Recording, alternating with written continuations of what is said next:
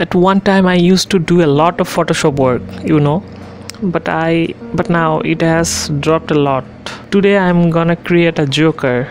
wow, it's amazing. Although it does not demand this time, it's been a long time the Joker movie has published, but still I like to make it so I made it. I love this movie. I want to use my picture but I do not have a picture like this. Then I search in internet and got this picture anyway let's go and start the tutorial.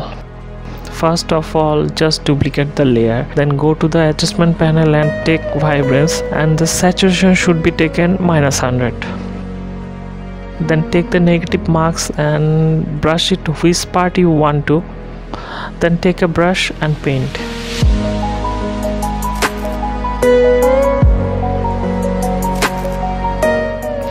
Then we need exposure and we are controlling the white marks.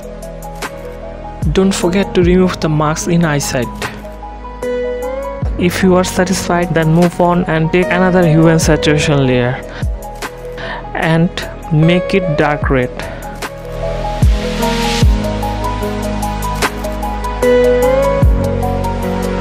Now paint on the area whatever you want. Try to paint this shape as accurate as possible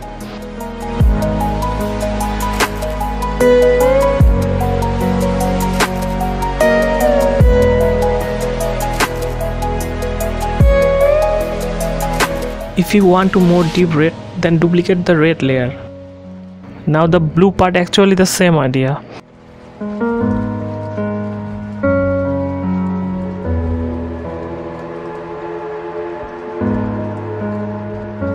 I forget the eyebrows. Now I fix some color correction.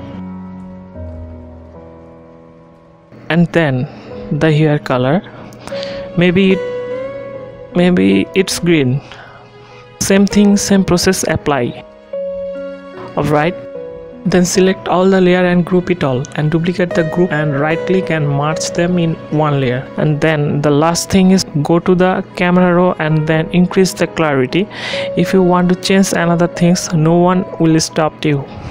So our picture has done it's not so accurate. You can arrange it as you like.